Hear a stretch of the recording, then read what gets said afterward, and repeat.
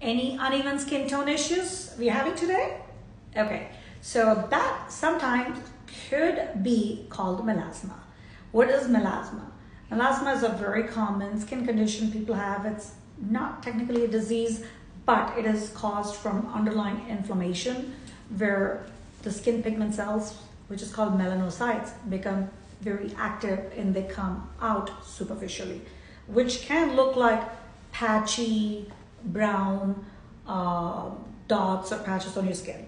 Commonly seen on your cheeks, forehead, jawline, or any other sun exposed areas of your neck and decolletage. Okay. Uh, when do you see? You can start seeing them early on, like in your 15s to 20s, and it can get progressively worse as you're aging and getting exposed to the sun or any stressors as well. Any bodily induced stressors, like any cortisol increased from stress, can also aggravate the situation. What are the other common conditions that can make your melasma worse? Pregnancy is also a stressful condition, which also uh, can aggravate your melasma. That's when typically women start to notice the patches.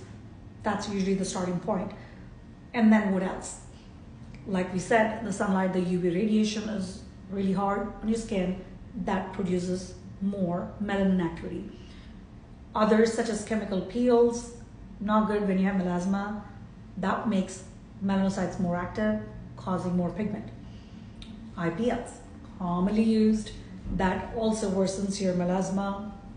Microneedling, which also aggravates your underlying inflammatory condition, hence more melanocytes, more pigment.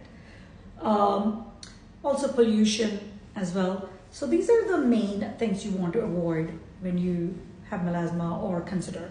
Okay. All right. So what are your options to treat melasma? Commonly, one of the very common, easy to use option is using topical hydroquinone. It works good, but it cannot be used every day and it cannot be used long term.